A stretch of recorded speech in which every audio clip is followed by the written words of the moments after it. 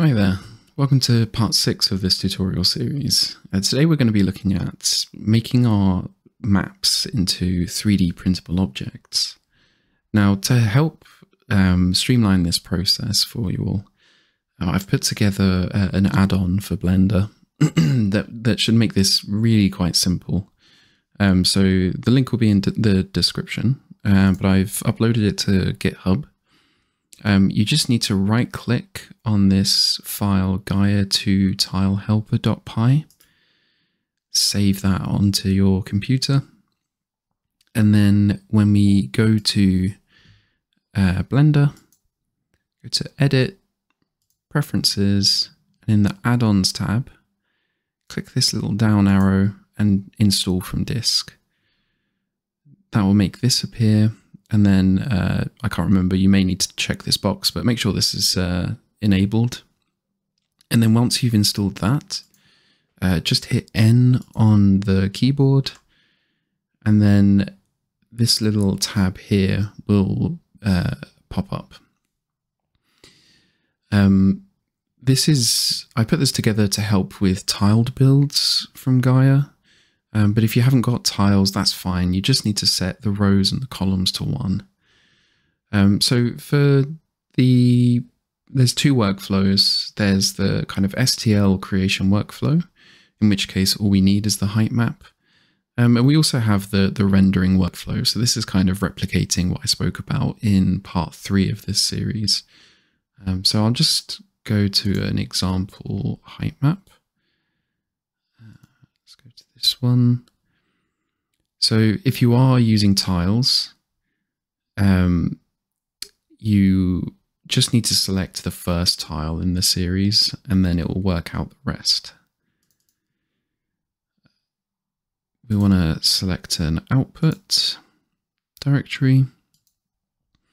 And because I'm just going to quickly test the, the render workflow, I'll load up some textures as well.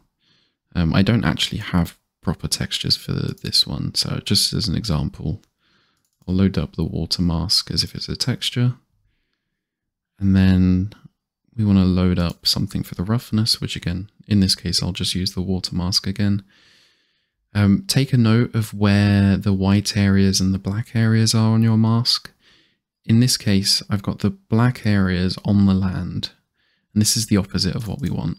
So in this case, I'll have to select invert roughness map. Now it's good to get an idea of how much displacement strength and how many subdivision levels you want for your 3D print. So I do recommend um, you can leave these blank um, if you're just going to be 3D printing.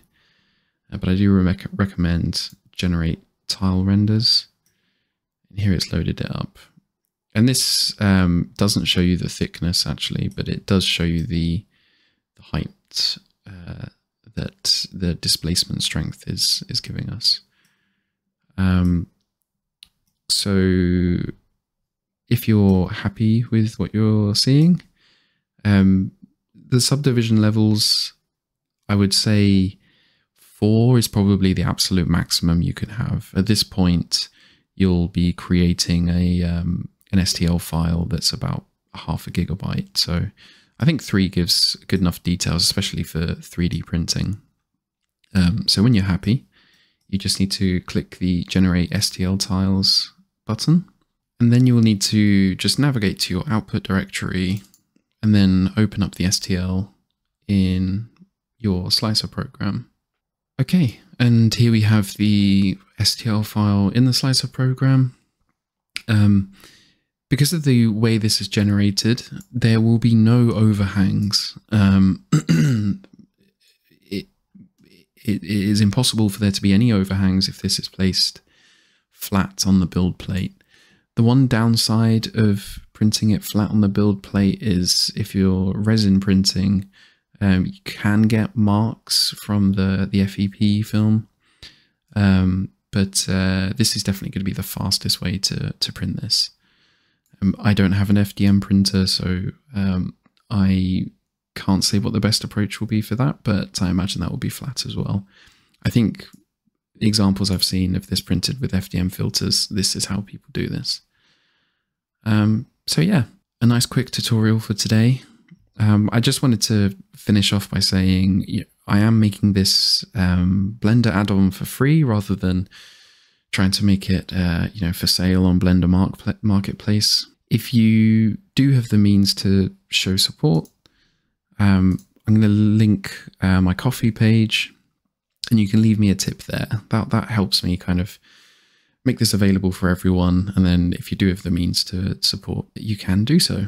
That's it for today. Um, I'm going to be I've got some really cool stuff coming up. Um, so while this is probably the end of this series in a way, um, I'm going to continue making videos um, just because they no longer kind of fit this sort of linear workflow anymore. So yeah, stay tuned and I will see you again soon.